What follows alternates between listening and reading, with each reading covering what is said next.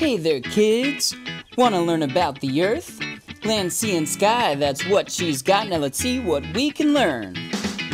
Earth is a real big circle floating out in space. It's where we live, it's blue and green, and the Earth is really great. There are seven land masses known as continents. Most of Earth is covered in water, and those are called oceans. The Earth is home to all kinds of different life plants, animals. There's fish in there, then you and me. That's right. Look around you, there's so much here to see. There's lakes, rivers, mountains, and plains, and it's covered in tons of trees. The Earth is a giant magnet with a north and south pole. But you may not want to go to those, well, because they're really cold. Then there's people, like your family in your house.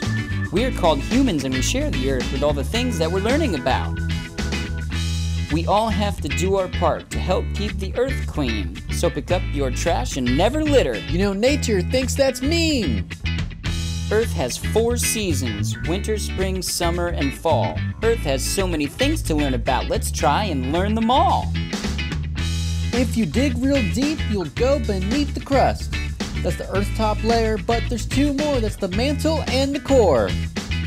The Earth's crust is made of what are called tectonic plates. They move a lot, and when they collide, you're gonna get what are called earthquakes. That's just one example of the forces of nature. There are tornadoes and hurricanes. And tsunamis too. Yes, sir. Well, Buggy, we're getting close to the end and we've learned a lot. But there's still just one more thing to know, so let's give it all we've got. That's the name of Earth and how it's spelled. E A R T H. Good job, kids, you did well. I'm afraid it's time for the two of us to go. If you want to see more Webibo, And Buggy, we, we hope you enjoyed the show.